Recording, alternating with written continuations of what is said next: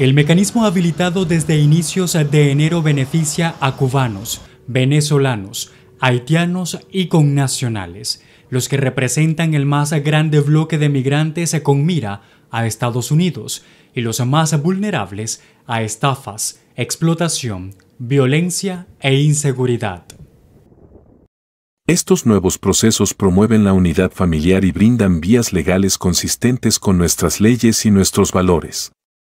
El departamento ha demostrado que la expansión de vías seguras, ordenadas y legales, combinada con una fuerte aplicación de la ley es efectiva para reducir la migración peligrosa hacia Estados Unidos.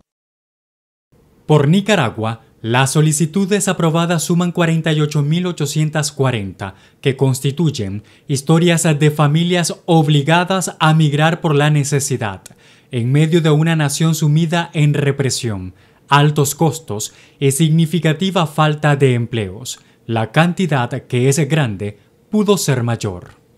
Pueden haber sido aprobados muchos más, pero esas personas o están a pendientes de ingresar a los Estados Unidos o sencillamente también puede ser que no hayan podido ser aprobados muchos otros aplicantes. La Oficina de Aduanas y Protección Fronteriza, CBP por sus siglas en inglés, estima que entre las cuatro naciones se aprobaron hasta octubre 269.744 solicitudes de parol humanitario.